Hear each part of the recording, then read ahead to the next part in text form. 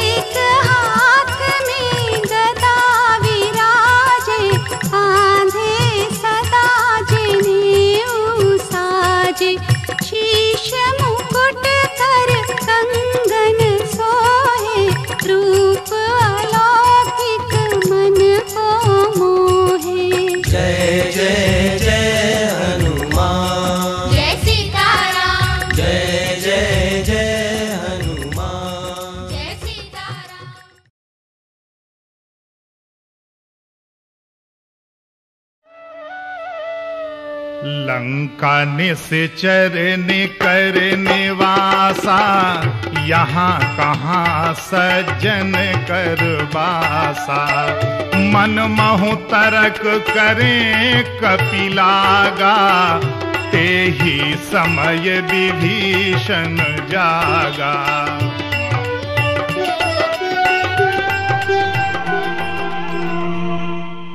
बड़े आश्चर्य की बात है। रघुवंशी श्री राम प्रभु के धनुष बाण चिन्ह आदि अंकित, ये निवास किसका है? तुलसी के पौधों को देखकर लगता है, जैसे यहाँ कोई साधु पुरुष निवास करता हो। परंतु ये लंका तो निशाचरों की नगरी है। दुराचारी रावण के होते हुए, कोई साधु पुरुष यहाँ कैसे निवास कर सकता है? कहीं ये कोई माया तो नहीं? जय श्री राम। राम राम। ते ही सुमिरन कीन्हा हृदय हरस कपि सजन चीन्हा। यही सन हठ कर हूँ पहचानी साधु ते हो ये न कारज हानि। जय श्री राम। जय श्री राम। राम राम राम। ये निश्चय ही कोई सत्पुरुष है, क्योंकि श्री राम का नाम लेने वाला कोई सज्जन ही हो सकता है। इनसे तो मैं हट करके परिचय करूँगा। क्योंकि साधु पुरुषों की संगति से कभी हानि नहीं होती। विप्र रूप धरि बचन सुनाए। सुनत विभीषण उठ आए। करी प्रणाम पूछी कुशलाई। विप्र कहु निज कथा बुझाई।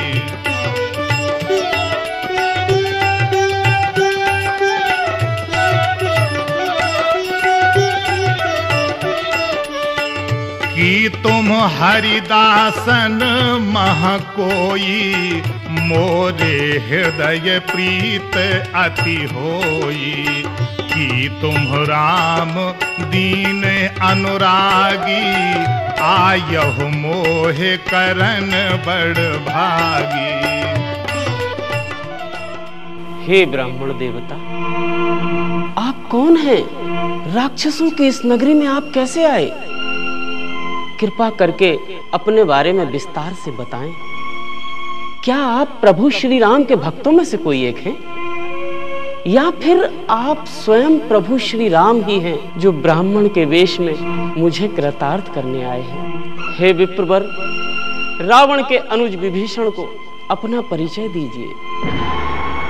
क्योंकि ना जाने क्यों, आपको देखकर मेरे हृदय में आपके प्रति अत्यंत प्रेम उमड़ रहा है।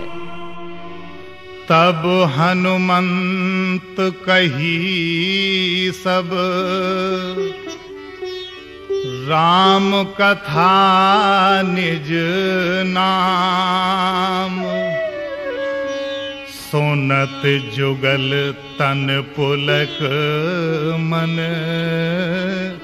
मगन सुमिर गुण ग्राम। हे तात विभीषण मैं प्रभु श्री रामचंद्र जी का दूत, पवन पुत्र हनुमान हूँ। सुनहु पवन सुत रहन हमारी जिम दस नन महो जीभ बिचारी। तात कबहू मोहि जान अनाथा करे हहि कृपा भान कुल नाथा हे पूज्य श्रेष्ठ हनुमान, ना जाने किन जन्मों के पुण्यों के कारण मुझे आज आपके दर्शन का सौभाग्य प्राप्त हुआ।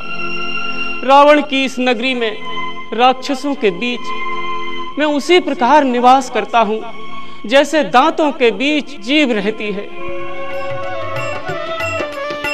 तामस तन कछु साधन नाही, प्रीत न पद सरोज मन माही। अब मोहि भा भरोस हनुमंता, बिन हरि कृपा मिलहि नहीं संता।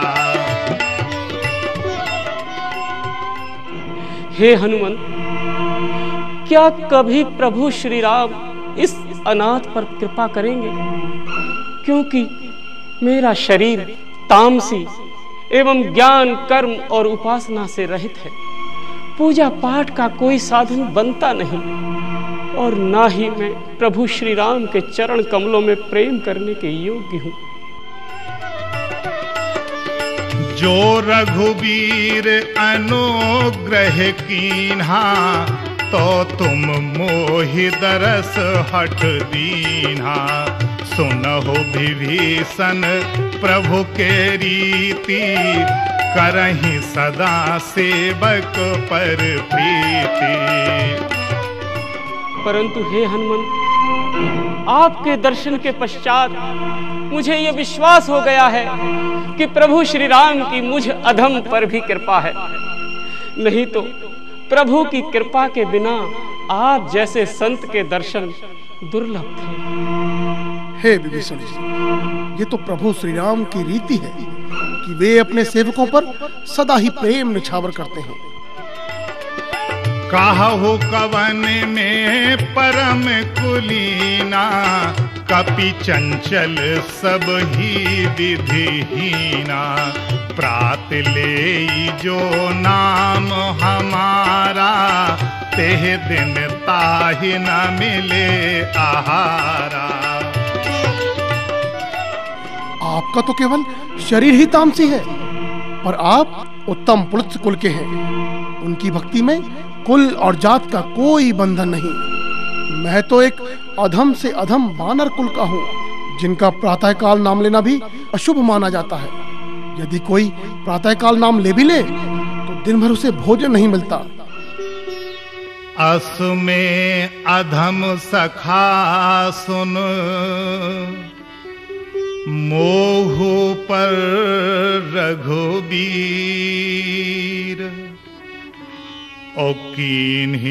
कृपा सुमरे गुण भरे बिलोचन नीर।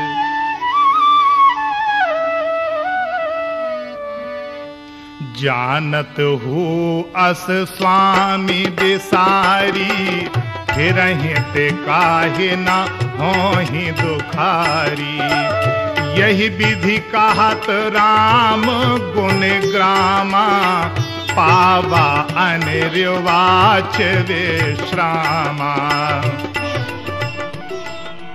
ऐसे नीच अधम कुल का होने के बाद भी प्रभु श्री राम ने इस सेवक पर कृपा की है। हे विभीषण श्री राम प्रभु का तो स्वभाव ही है। भक्तों पर सदा दया करना, वो तो कृपा निधान है। परंतु जानबूझकर भी जो जीव ऐसे दीन दयाल रघुनाथ जी को भुलाकर माया के विषयों में लिप्त रहते हुए अपने आप को नष्ट कर लेता है। वही जीव जन्म जन्मांतर तक कष्टों को भोगता रहता है और यही संसार में दुखों का मूल कारण है। पुण्य सब कथा विभीषण कही, जेह विधि जनक सोता तहाँ रही। हे भक्त शिरोमणि, आप सत्य कह रहे हैं। परंतु मेरा दुर्भाग्य तो देखिए, मैं ऐसे ही महाज्ञानी रावण का अनुज हूँ, जो सब कुछ जानते हुए भी दिन रात विषयों में लिप्त रहता है, और इसी कुबुद्धि के कारण उसने माता सीता का अपहरण किया है। जब मैंने उससे माता सीता को मुक्त करने का निवेदन किया तो उसने उसे अस्वीकार कर दिया। जब मुझसे माता सीता की पीड़ा नहीं देखी गई तो मैंने अपनी पुत्री कला को, माता सीता को सांत्वना देने हेतु भेजा। परंतु जब रावण को यह ज्ञात हुआ तो उसने मेरी बेटी कला को भी अशोक वाटिका में जाने से रोक दिया। हे हनुमंत, मैं रावण के इस कुकृत्य से अत्यधिक लज्जित और चिंतित हूँ। हे तात रावण के पाप कर्मों के कारण आप चिंतित मत होइए। जीव अपने कर्मों के लिए स्वयं उत्तरदायी होता है। हे हनुमंत आपके इस गूढ़ उपदेश से मेरी भक्ति स्थिर और चित्त शांत हुआ। तब हनुमंत कहा सुन भ्राता देखी चाहूँ जान की माता। हे तात मैं माता जानकी के दर्शन करना चाहता हूँ। माता जानकी अपने पतिव्रत धर्म की रक्षा करते हुए अशोक वाटिका में एक वृक्ष के नीचे प्रभु की प्रतीक्षा में बैठी है। भयानक और क्रूर राक्षसियाँ उन्हें दिन रात डराया करती हैं हनुमंत हे भक्तराज विभीषण मुझे वहाँ पहुँचने का मार्ग बताएँ ताकि प्रभु का संदेश माँ सीता को सुना सकूँ। हे हनुमंत, वहाँ तक पहुँचने का मार्ग अत्यंत गुप्त एवं कठिन है। संपूर्ण अशोक वाटिका रावण के राक्षसों से घिरी हुई है। परंतु मैं आपको एक ऐसी युक्ति बताता हूँ, जिससे आप रावण के राक्षसों से बचकर सरलता से माता सीता से मिल सकेंगे। जुगति विभीषण सकल सुनाई। चले वो पवन सुत बेदा कराई। धन्य है आप और धन्य है आपकी भक्ति। अब सूर्योदय होने वाला है। मुझे शीघ्र चलने की आज्ञा दीजिए ताकि रात्रि के अंधेरे में अशोक वाटिका जाकर माता के दर्शन कर सकूँ। अवश्य हनुमंत प्रभु श्री राम आपकी रक्षा करें। जय श्री राम जय जय श्री राम करी सोई रूप गय वो पुनिता हवा बने अशोक सीता रहे जहवा।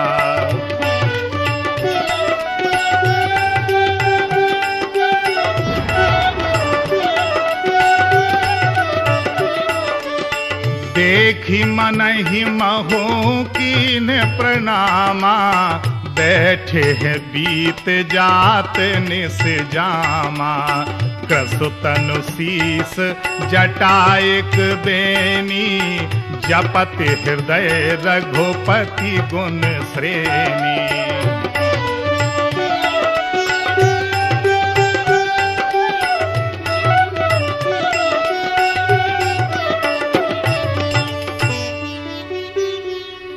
निज पद नयन दिए मन।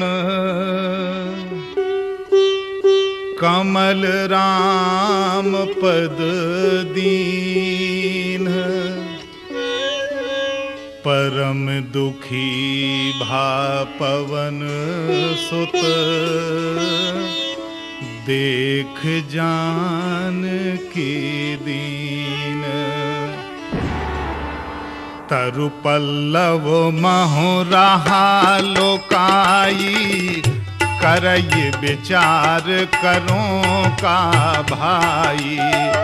तेहिया सर रावण तहाँ आवा, संग नारी बहु किए बनावा।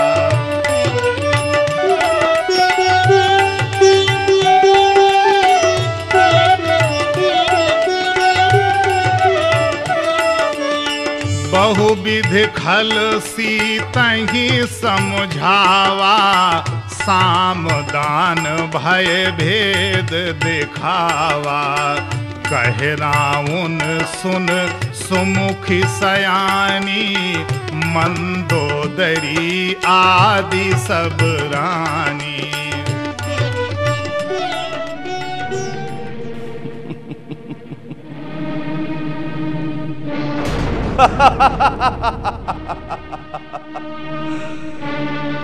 कितने आश्चर्य का विषय।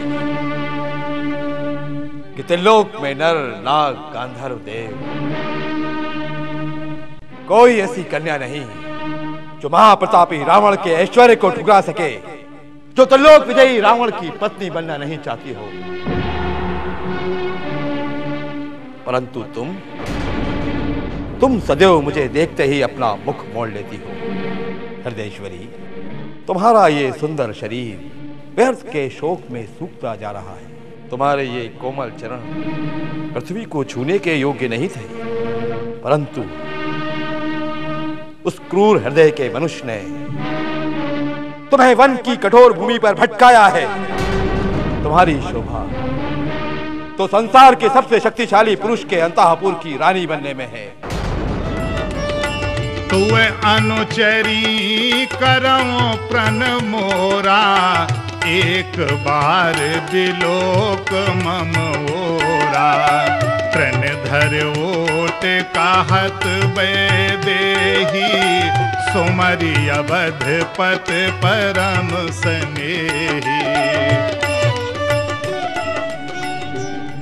है तो लोक सुंदरी, देखो, मैं उस तपस्वी से अधिक शक्तिशाली हूँ। अधिक प्रतापी हूँ। अधिक ऐश्वर्यशाली हूँ। ये सोने की लंका, ये त्रिलोक का राज, ये सारा ऐश्वर्य, तुम्हारी एक दृष्टि पर मैं निछावर कर दूँगा। मदोदरी आदि रानियों को तुम्हारी दासी बना दूँगा। संसार की सर्वश्रेष्ठ सुंदरी, अपने चंद्रमुख की शीतल प्रभा इस सेवक पर पड़ने दो। मेरी ओर अपना मुखार बीन कर। बस एक बार एक बार अपनी प्रेमय दृष्टि से मुझे देख लो। क्या? आज भी तेरी स्वीकृति ना पाकर मैं निराश ही लौट जाऊँगा।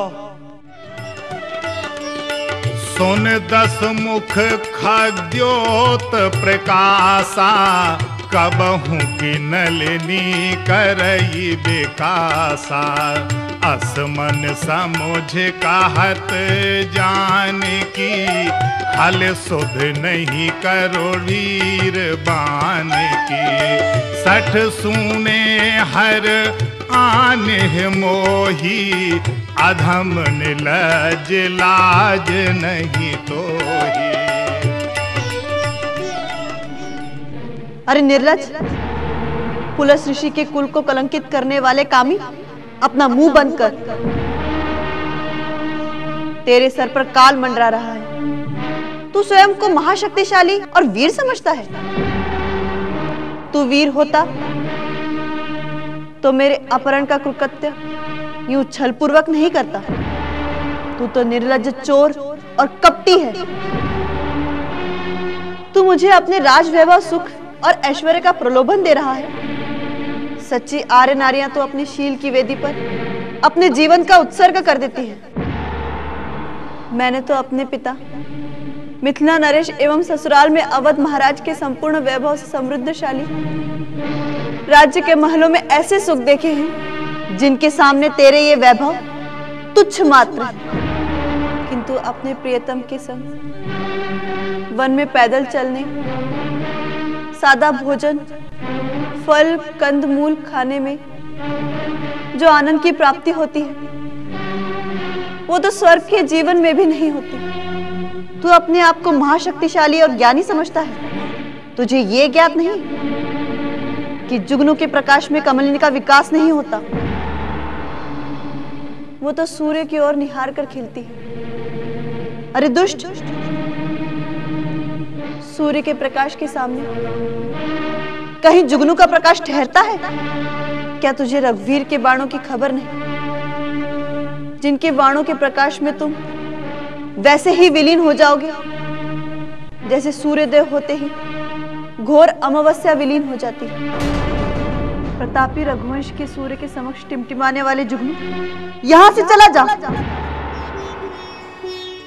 आप ही सुन खद्योत सम। राम ही भानु समान। परुष बचन सुन काढ़ अस। बोला अति खिसयान। सीता ते मम कृत अपमाना। कट हूँ तो सिर कठिन कृपाना। नाही त सबद मान मम बानी। सुमुखी होत न त जीवन हानि। श्याम सरोज, दाम सम सुंदर, प्रभु भुज कर कर सम दस कंदर सीते!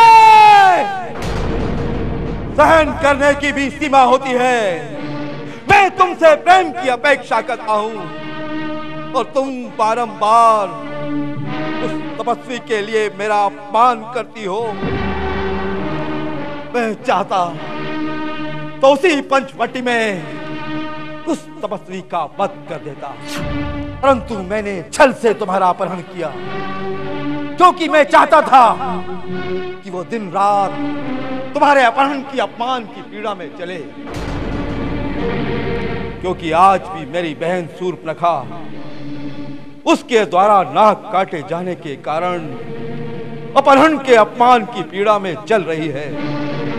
सारा राक्षस कुल जल रहा है। परंतु मेरा तुमसे कोई बैर नहीं। वैसे भी सुंदर स्त्रियों का सम्मान करना हम राक्षसों का स्वधर्म है।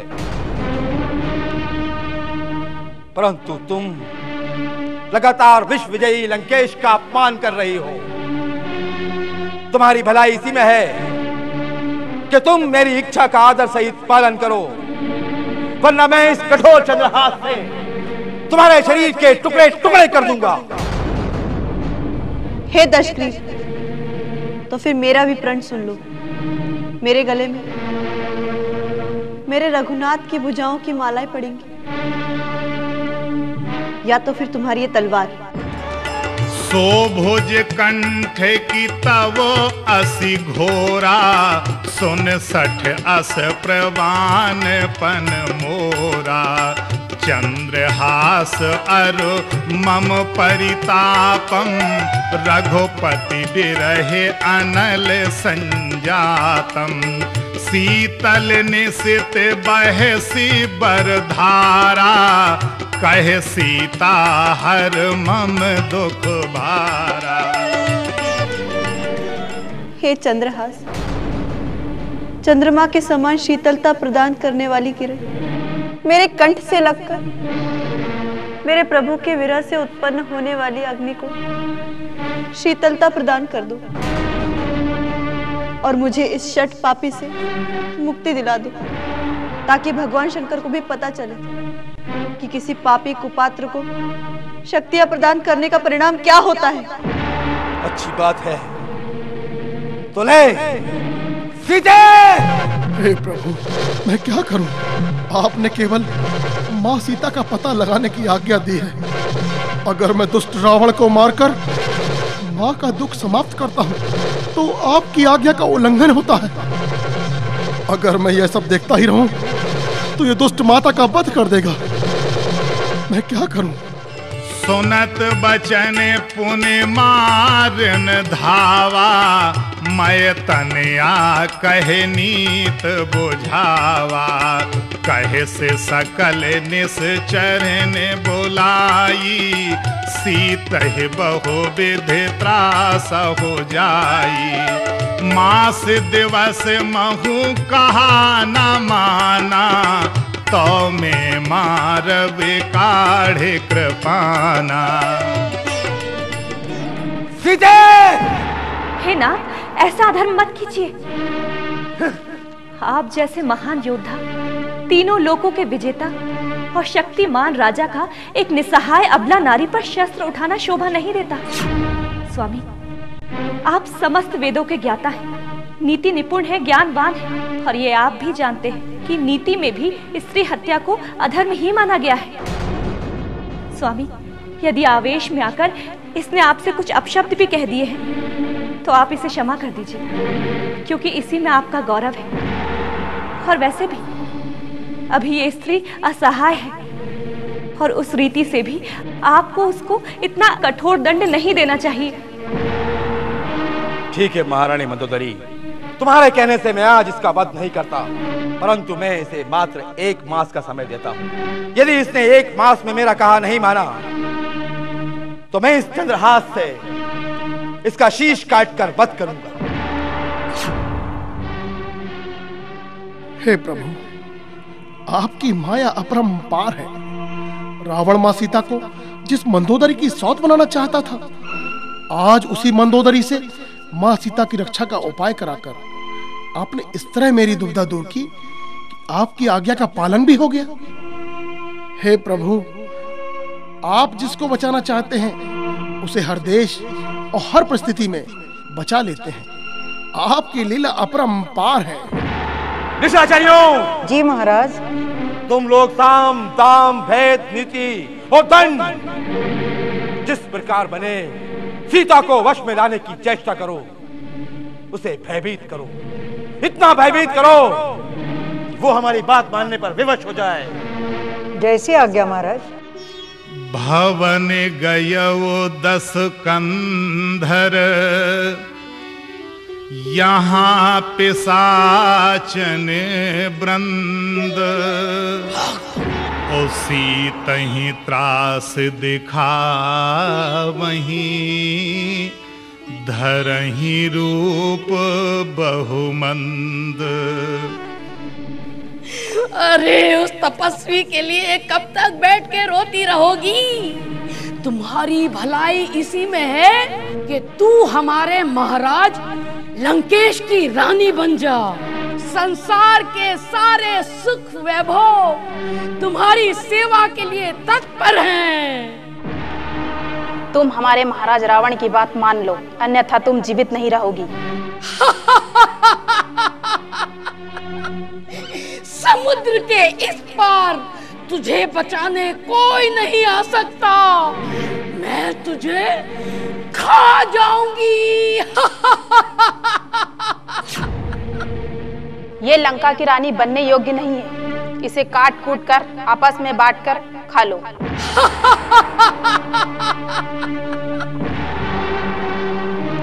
तुम लोग मुझे मार डालो। लेकिन मैं तुम लोगों की एक बात नहीं सुनूँगी। मेरे पति परमेश्वर ही मेरे लिए पूजनीय है। उनका अनुराग सदा मेरे साथ रहेगा।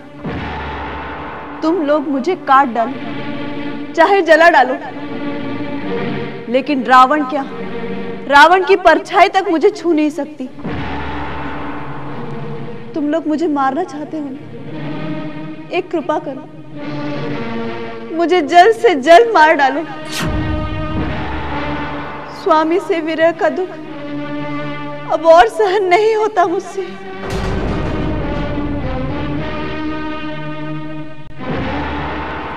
त्रजटा नाम राक्षसी एका, राम चरण रति ने पुन विवेका। सब नह बोल सुना यस सपना, सीत से ये कर होते अपना।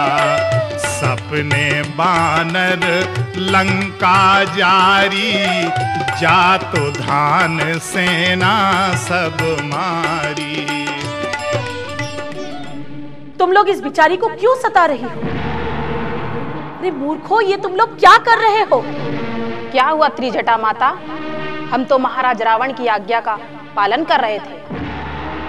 अरे पुत्रियों मैंने कल रात को एक एक भयानक और डरावना सपना देखा है। इतना डरावना कि बताते हुए भी डर लग रहा है। मेरा मन अत्यंत विचलित हो रहा है और उसके स्मरण मात्र से मेरा रोम रोम काँप रहा है। ऐसा कौन सा सपना आपने देखा है माता? मैंने देखा एक वानर समुद्र लांग कर लंका पर पहुँच गया है और पूरी लंका को जला डाला है। रावण की सारी सेनाओं की शक्ति छिड़ भिड़ कर दी है। हर आरूढ़ नगन दस सीसा, मुंडित सिर खंडित भुज बीसा। यह विध सो दक्षिण दिस जाई, लंका मनहु विभीषण पाई। नगर फिरी रघुबीर दोहाई तब प्रभु सीता बोल पठाई। और राम और लक्ष्मण श्वेत वस्त्र धारण किए, सीता के साथ आकाश मार्ग से जा रहे। और लंकेश सिर मुड़ाकर तेल में नहाए, गधे पर सवार होकर दक्षिण दिशा, यानी यमपुरी की ओर जा रहा है। उसकी बीसों भुजाएँ कटी हुई है। लंका का राजा मानो श्री रामचंद्र जी ने विभीषण को बना दिया है। पूरे नगर में श्री रामचंद्र जी की जय जयकार हो रही है, पुत्रियों, जय जयकार। और मेरा अनुभव कहता है कि प्रातः काल का सपना अवश्य सच होता है। यह सपना में कहा हूँ पुकारी? हो यह सत्य गए दिन चारी तासो बचन सुनते सब डरी। जनक सोता के चरणन परी। मुझे डर लग रहा है। मुझे लगता है कि ये सपना कुछ ही दिनों में सच होने वाला है। कल्पना करो कि लंका पर विजय प्राप्त करने के बाद जब श्री रामचंद्र जी सीता से तुम सबका हाल पूछेंगे, तब तुम्हारी क्या दुर्दशा होगी? लेकिन इसमें हमारा कोई दोष नहीं। हम तो अपने महाराज की आज्ञा का पालन कर रहे थे। तुम सबका कल्याण इसी में है पुत्री कि तुम इनकी सेवा करो। इनसे क्षमा मांग लो। हमें क्षमा कर दो देवी। हम तो अपने महाराज की आज्ञा का पालन कर रहे थे। हमें क्षमा कर दो देवी। मुझे किसी पर क्रोध नहीं आता माँ। अब तुम सब जाओ। इन्हें सताना छोड़ दो। हे अंतर्यामी, धन्य है आप इस राक्षसों की नगरी में विभीषण जैसे संत द्वारा। माँ सीता के दिव्य दर्शन कराकर आपने अपने सेवक पर बड़ी कृपा की है। तथा त्रिजटा को स्वप्न देकर आपने मेरे आने की सूचना माता को दिला दी। और त्रिजटा के मुखारविंद से मुझे लंका जलाने का संकेत और संपूर्ण लंका के भविष्य की भविष्यवाणियाँ भी करा दी। हे प्रभु आपका तो घट घट में बास है। धन्य है प्रभु आप और आपकी प्रभुता।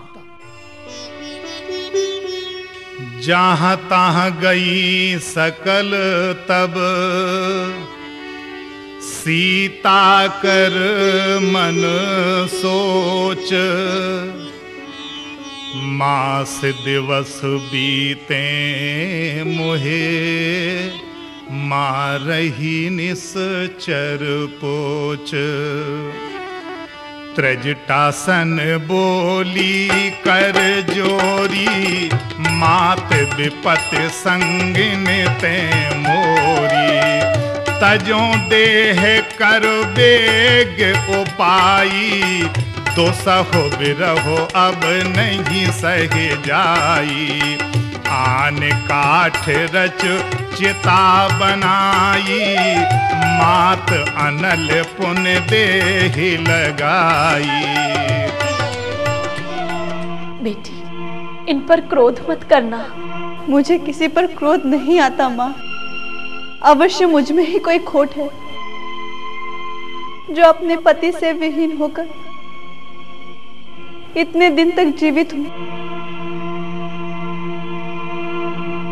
हे माता त्रिजुता मिथिला और अयोध्या की माताएँ तो मुझसे दूर हो गई।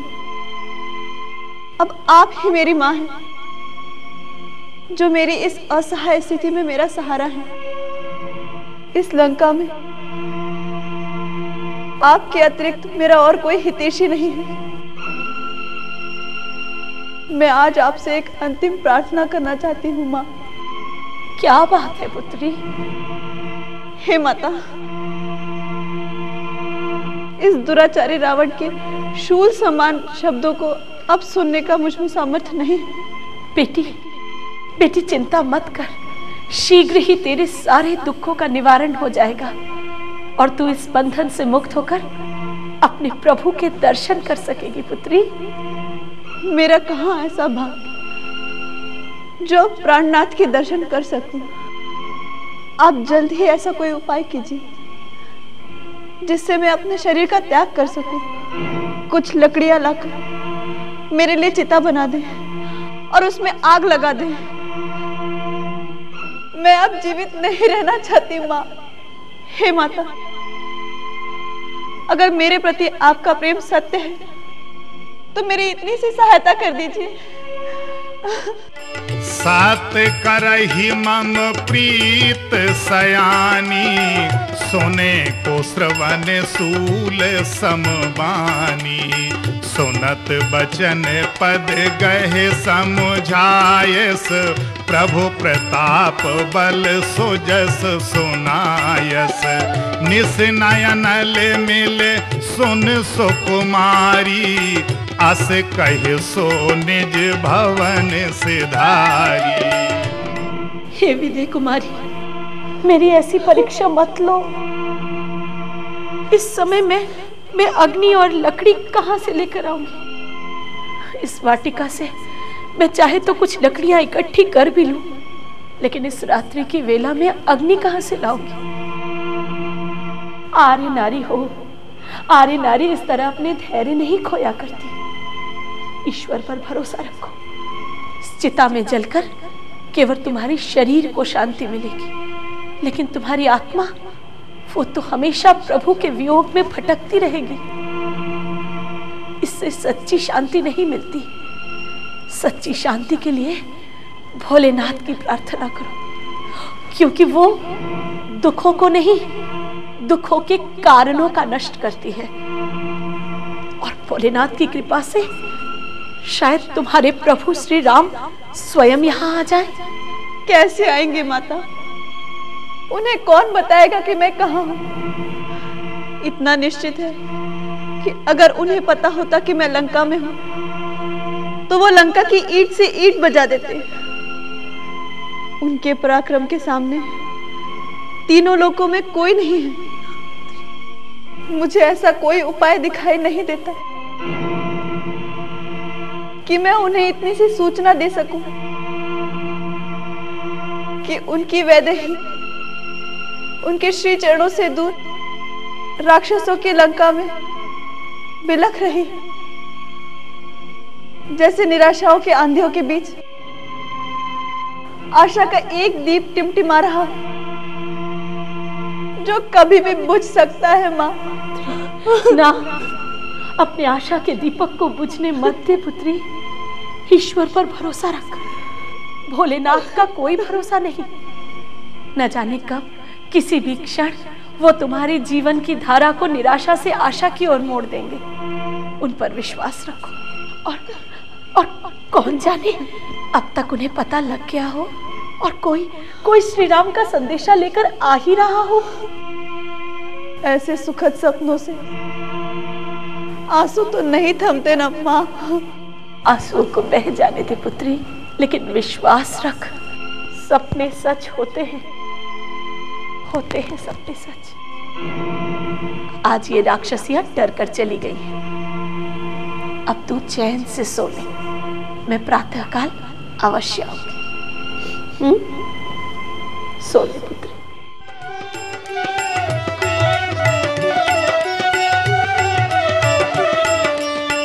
कहे सीता, विधि भा प्रतिकूला, मिलहि न पावक, मिटहि न सूला।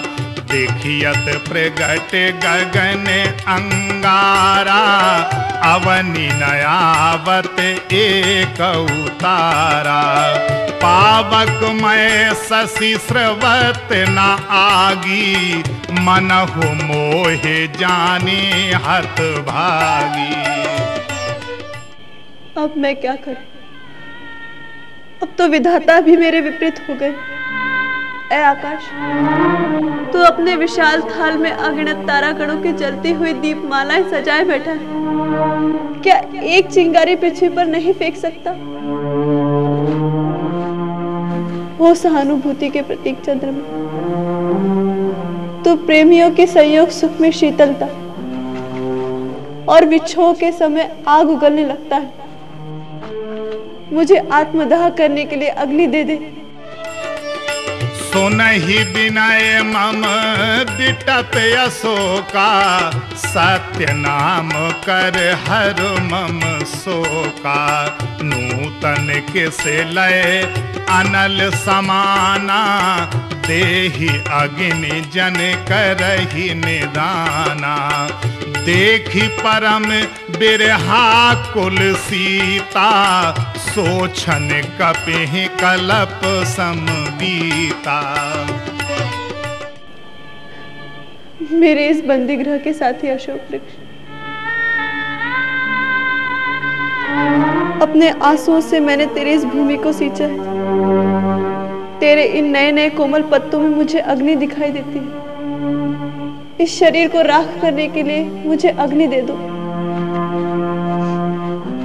और मेरा शोक हर अपने नाम को सत्य कर दीजिए।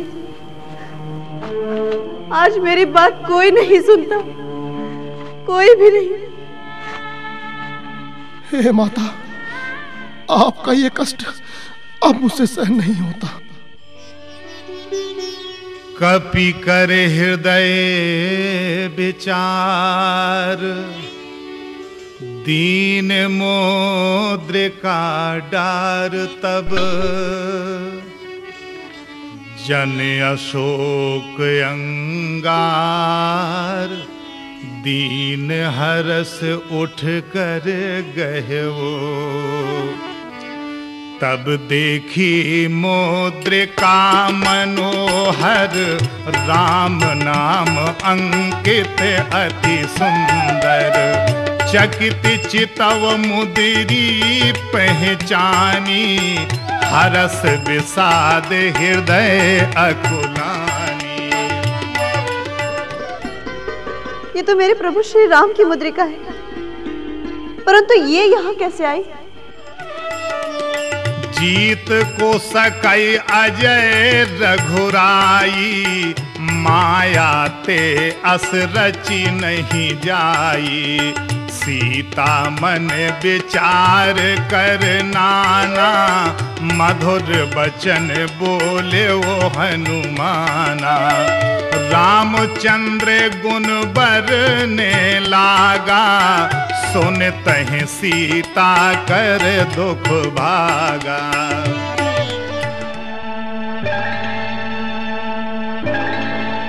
कहीं किसी राक्षस ने तो? नहीं नहीं। प्रभु को कौन जीत सकता है? वो तो अजय है। कहीं ये माया तो नहीं? लेकिन माया से ऐसी अंगूठी नहीं बनाई जा सकती। फिर यहाँ कोई है? हे माता आप सत्य कह रही हैं। ये अंगूठी माया रचित नहीं है। लागी सुने श्रवण मन लाई आद्य होते सब कथा सुनाई। श्रवणामृत जेहि कथा सोहाई। कही सो प्रगट होती किन भाई। तब हनुमंत निकट चली गए वो। फिर बैठी मन विस्मय भय हे माता आप सत्य कह रही हैं। ये अंगूठी माया रचित नहीं है। स्वयं प्रभु श्री राम ने अपने हाथों से मुझे दी है। उन्हीं करुणा निदान की कृपा के सहारे मैं ये अंगूठी लेकर अशोक वाटिका तक आया हूँ। हे भाई, तुम कौन हो? जिसने अमृत वचन कहे स्वयं करुणा निधान ने ये अंगूठी तुम्हें दी है। तो तुम सामने क्यों नहीं आते? छुपे क्यों हुए हो? जय श्री राम।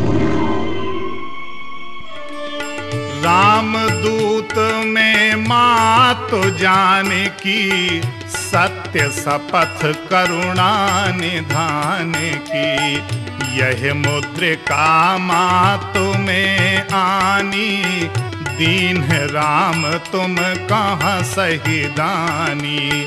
नर बानर ही संग कहु कैसे?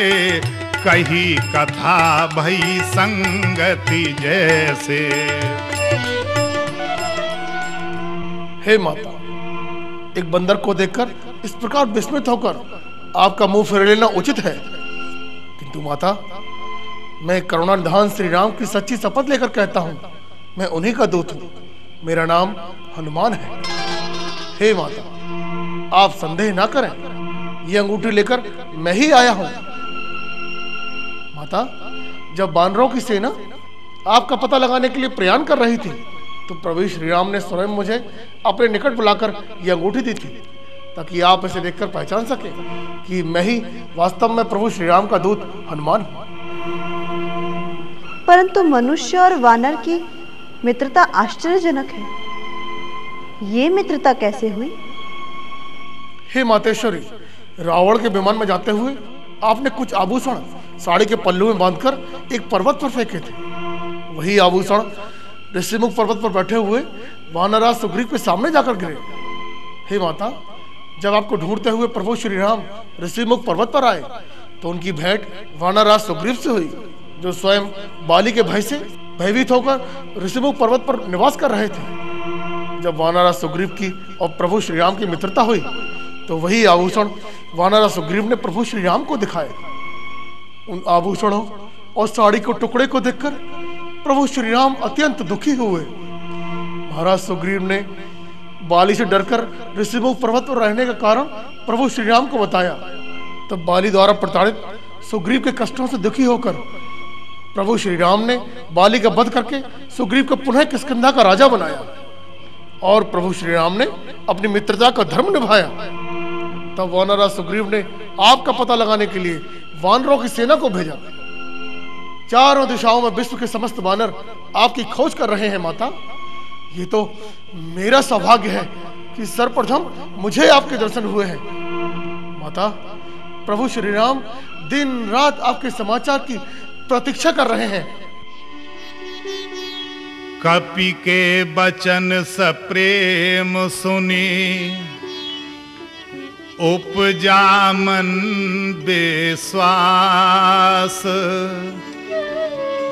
जाना मन क्रम बचन यह, कृपा सिंधु कर दास। हरिजन जान प्रीत अति बाढ़ी, सजल नयन पुल कावली गाढ़ी। बूढ़त बिरही जलधि हनुमाना भयवो तात मो कहूँ जल जाना। अब कहो कुशल जाऊँ बलिहारी अनुज सहित सुख भवन खरारी हे पुत्र, आज तुम्हारे इन वचनों से मुझे इतनी प्रसन्नता मिली है कि मैं उसका वर्णन नहीं कर सकती। हे तात, तुम विरह सागर में डूबी हुई सीता के लिए जलयान के समान मुझे पूरा विश्वास हो गया है कि तुम प्रभु श्री राम के सच्चे सेवक हो। मेरे प्रभु श्री राम अपने अनुज के साथ कुशल से तो हैं।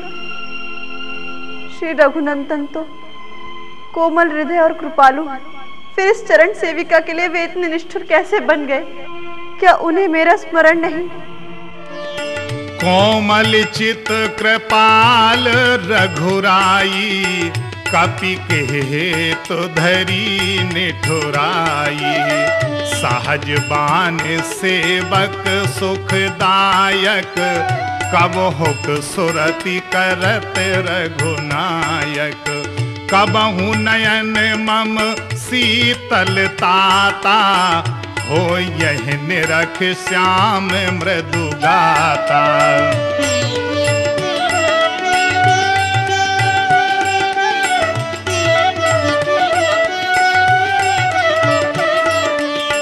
बचन नयाव नयन भर बारी। आहय नाथ होने पट बिसारी। क्या कभी मैं उनके कोमल और सावली छवि के दर्शन कर पाऊँगी? हे नाथ आपने मुझे सर्वदा ही भुला दिया। देख परम बिरहा कुल सीता बोला, कपि मृदु बचन विनीता।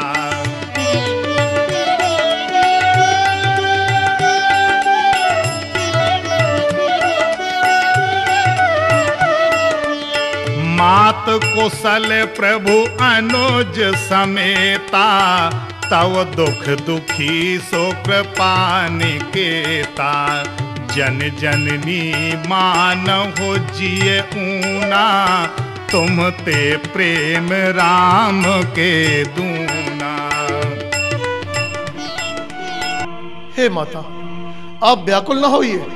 कृपा के धाम सौंदर्य की मूर्ति प्रभु श्री राम अनुज लक्ष्मण सहित पूर्णतः कुशल से हैं। परंतु हे माता आपकी ब्रह में वो सदैव बहुत दुखी रहते हैं। तुम नहीं जानते पुत्र। मैं भी उनके विरह में कैसे कष्टों में जी रही हूँ। रघुपति कर संदेश अब। सुन जननी धर धीर। अस कह कपि गद गद भयव। भरे बिलोचन नीर।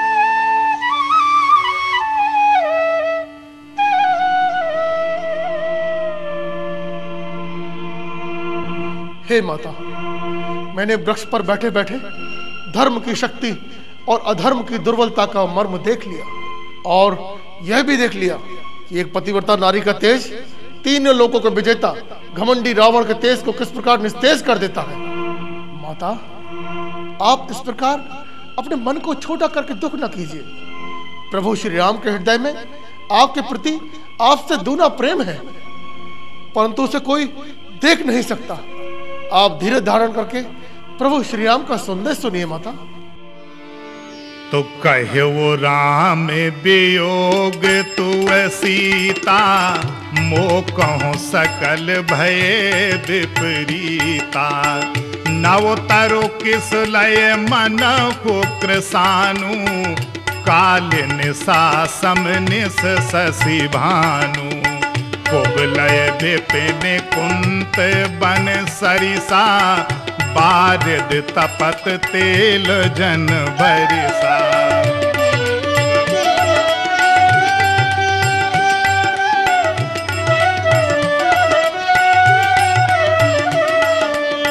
जे हित रहे करत तेई पीरा उरग श्वास समत्र विध समीरा। कहे होते, कछु दुख घट होई। काहे कहो, यह जान न कोई। तत्व प्रेम कर मम अरु तोरा। जानत प्रिया, एक मन मोरा।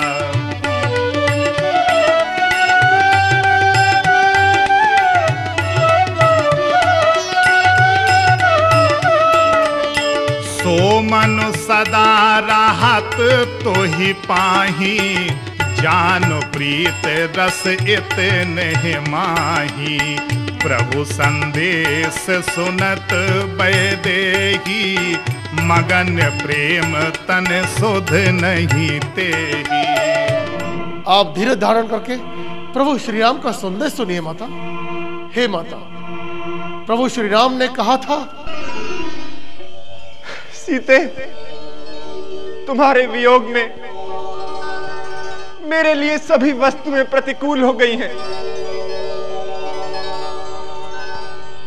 वृक्षों के नए नए पत्ते, अग्नि के समान, रात्रि काल काल रात्रि के समान, और चंद्रमा सूरज के समान तपित लगता है। कमल के वन। चुभते हुए भालों की तरह लगते हैं। वर्षा वर्षा ऐसी लगती है, जैसे मेघ खोलता हुआ तेल बरसा रहा हो। शीतल, मंद, सुगंधित वायु। सांप की श्वास के भांति जहरीली और गर्म लगती है। सीते, तुम्हारे साथ जो वस्तुएँ मुझे प्रिय थी, वही तुमसे विरह में पीड़ा देती हैं। मन का दुख कह डालने से दुख कम हो जाता है। परंतु किससे कहूँ, तुम्हारे और मेरे प्रेम का रहस्य तो केवल मेरा मन ही जानता है। और वो सदा तुम्हारे पास रहता है। सीते, बस इतने में ही मेरे प्रेम का सार समझ लेना। सीते सीते सीते सीते।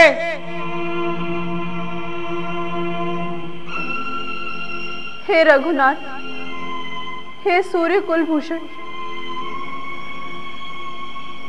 कब इस चरण सेविका को आपके चरणों के दर्शन होंगे?